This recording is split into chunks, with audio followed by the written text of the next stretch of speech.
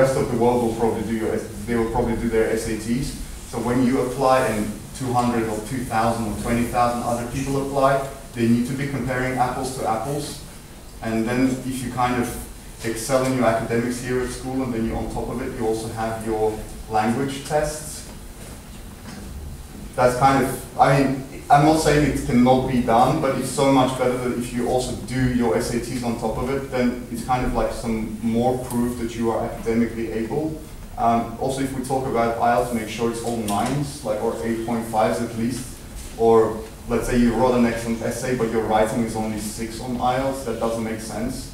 So kind of, it, it needs to be well balanced, and I'll talk more about balance, but it's a good question. Again, reach out to school. So every school you're looking into, they will have admissions contact, an email or a phone number.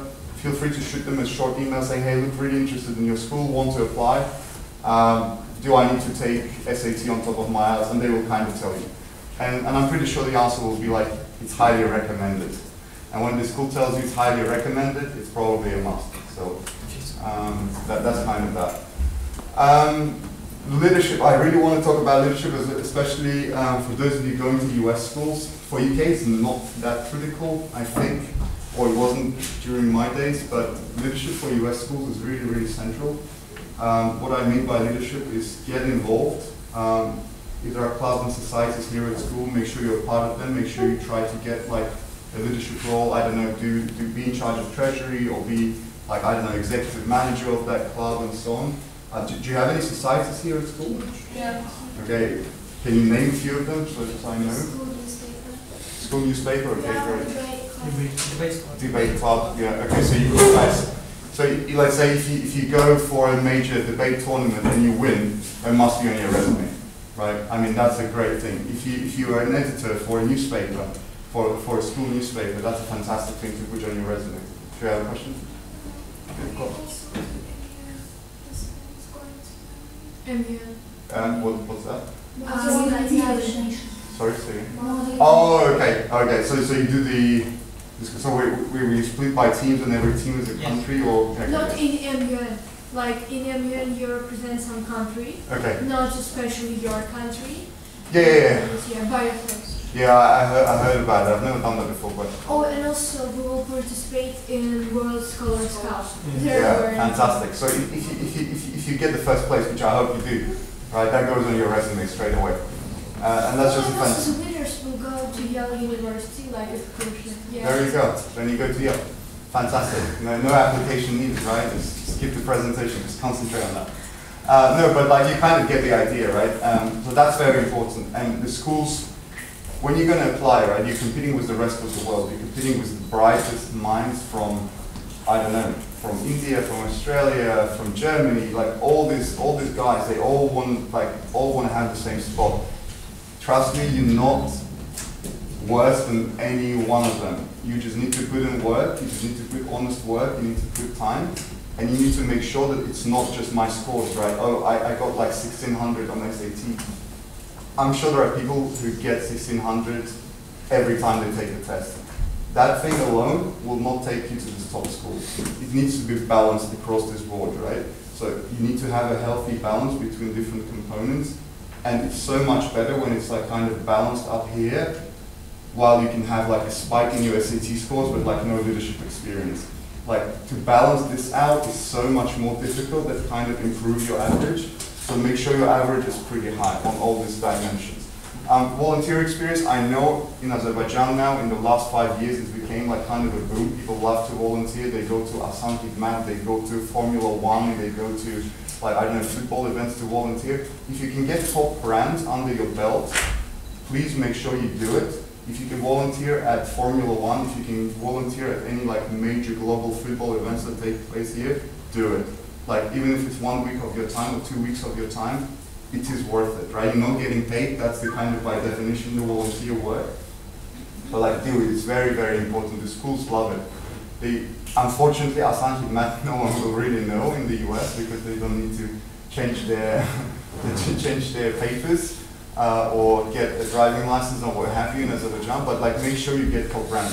If you can spend, let's say, a month uh, at Ernst & Young or PricewaterhouseCoopers here in Baku, kind of just learning about what they do, make sure you do it. like reach out to people. I'm sure people are very open to these volunteer opportunities. Just try to get these international brands. If they offer some summer programs, I think BP does offer a summer program to kind of get to know them better or something like that. Like just just do it. Right? These top brands, they will help you a lot with your like overall application process. But what time do we stop? Does anyone know?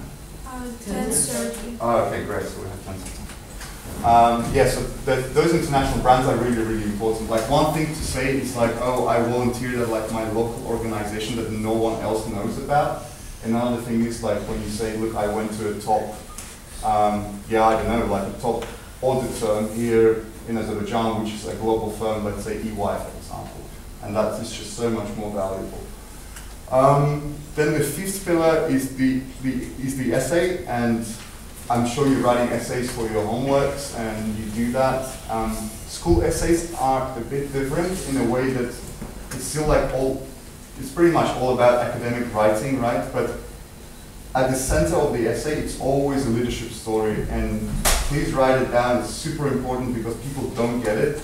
So I've heard that uh, the uh, sport sphere uh, influenced to the university. Like, um, so some university they just um, they just need your uh, like sportivity. Sure. I mean, um, this is something we call an athletic scholarship in the US, for example. Um, what cases are important? It can go. It kind of goes into the leadership and experience bucket.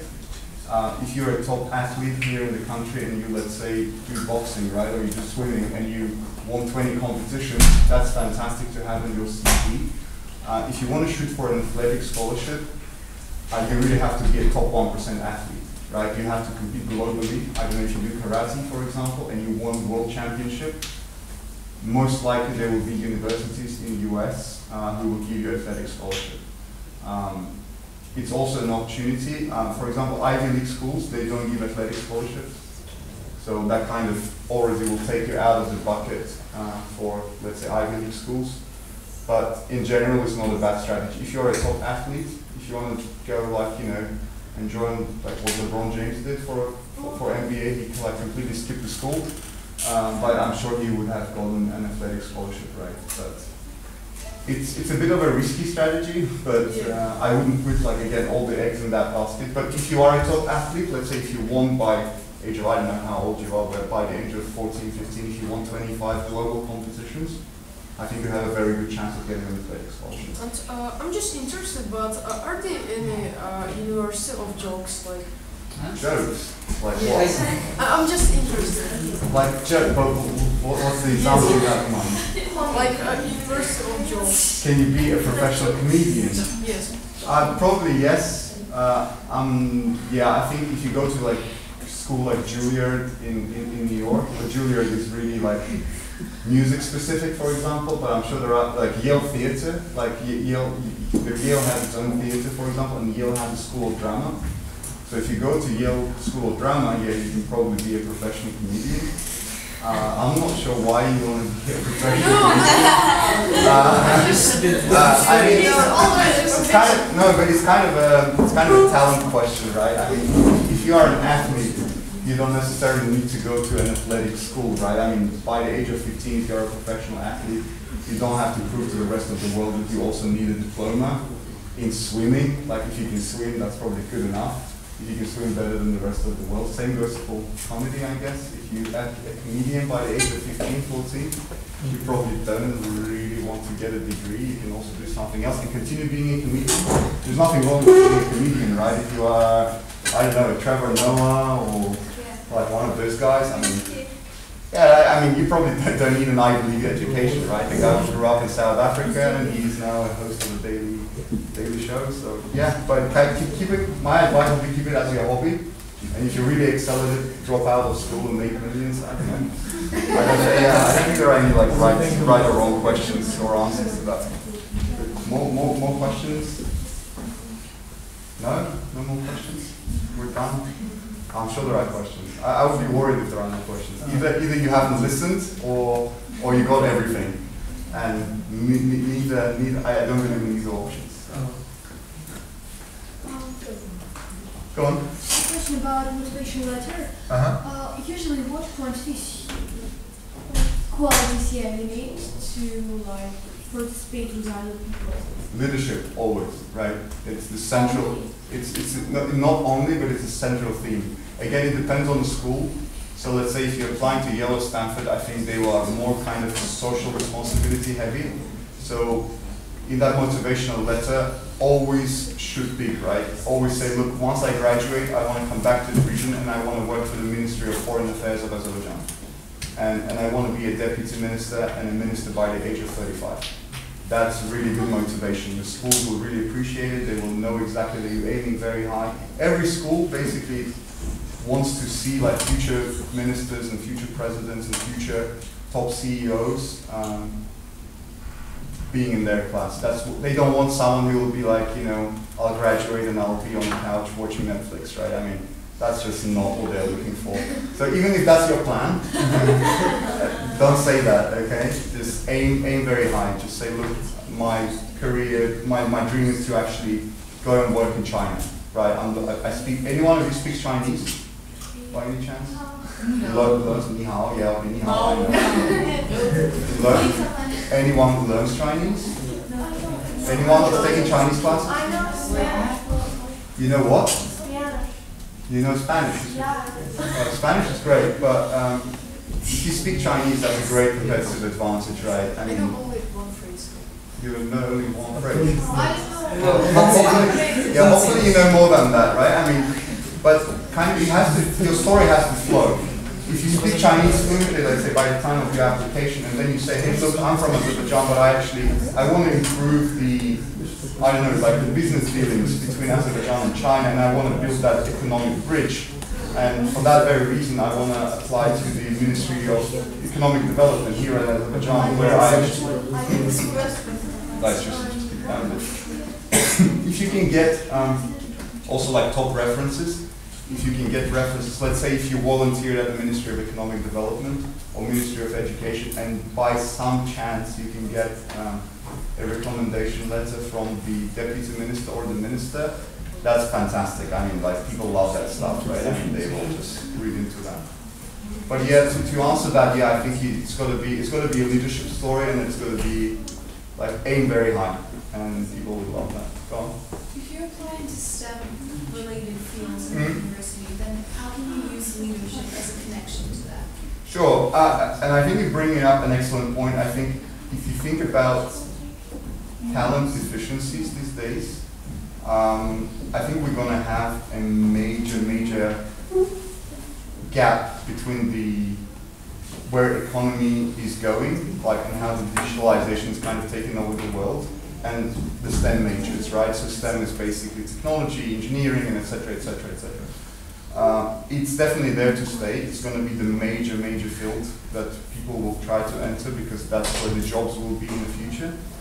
Um, you need to build a connection through what have you, whatever STEM experience you're going to have. Let's say you worked as a sound intern at, at certain lab where you did research and you excelled at something. Let's say you developed your own algorithm to, I don't know, predict the, or what have you, the snowfall this winter in Azerbaijan. But if you did something like that, um, you kind of go about the process and how you overcome the, the challenges on your way. But it's pretty much connectable. It really depends on what you want to do, what you've done, and kind of building like a leadership story that connects the two. So these things can coexist. It's not like yeah, like leadership is only about soft skills or not the hard skills. So just kind of think think about an experience and then think what you've really learned and what you've done and kind of develop a story. So it's applicable. I think it's labeled special. So most people in our school actually do multiple things.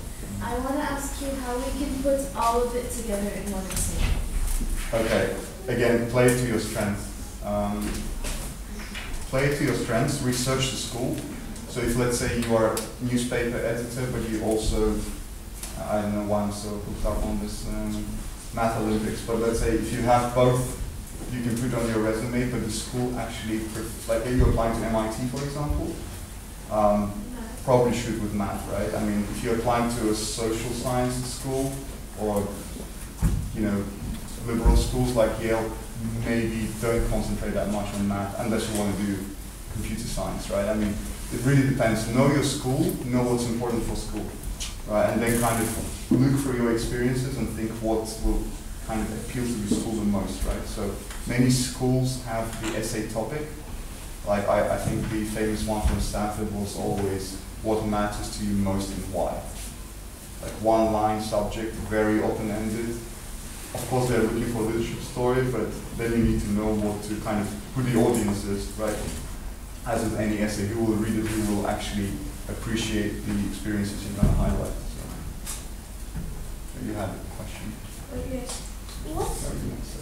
what's your stream economics? Um, so what I did, I did computer science in my undergrad. I did something very specific, so I did oil and gas trading for work. That was my bread and butter. So I did my master's at the University of Geneva in international trading, shipping, and uh, commodity finance. And then I did my master's of business administration in Yale. So that's kind of yeah, it was always finance and economics, but um, computer science was something I did for my undergrad. And I did a lot of stuff in that, but I never really stayed with it, which I regret. Stay with computer science if you're a computer science major. Be a next, be, be the next Larry Page or you know Sergey Brin or who have you. Sorry, your question. So did uh, do university make some like Is it now a jokes question or is it? no no no Okay. uh, It's good. Go. on. okay for example I want to be dentist Okay. uh, did do some university make some experiments or exam master classes like how it works Sure. Okay. So for those of you who want to be lawyers and you want to go into medicine in the US, it's rather specific. Your undergrad has to be anything, hopefully something related to the fields, but not necessarily. But then your med school application or your law school application is actually your advanced degree or your graduate degree. You cannot just go to undergrad and become a dentist, right? So it's, it's going to be a bit different if you go to the US. If you go to Germany, that is kind of pretty straightforward. The same goes for, for the UK. But then once you are done with your formal education, there are programs uh, that you're gonna you can apply to to kind of get. I don't know. Let's say you're a professional dentist, but you also want to learn about orthodontics, right? Then this is something you can do as a pop up, as a, an add-on degree, let's say. But yeah, you can do certificates. My advice to you: don't go for the certificates. Like, I think it's important for some universities, especially in the US, if you do summer school, if you go there for summer and spend the summer at Harvard or Yale or elsewhere, is it going to be a decisive kind of factor to take you or not? I don't really think so. But if you have this opportunity to do it, but to answer your question, it's very specific. I don't know much about medicine, but um, yeah, I'm sure there are opportunities to take those like certificate programs or something. But that kind of comes a bit later in life, so don't worry about it.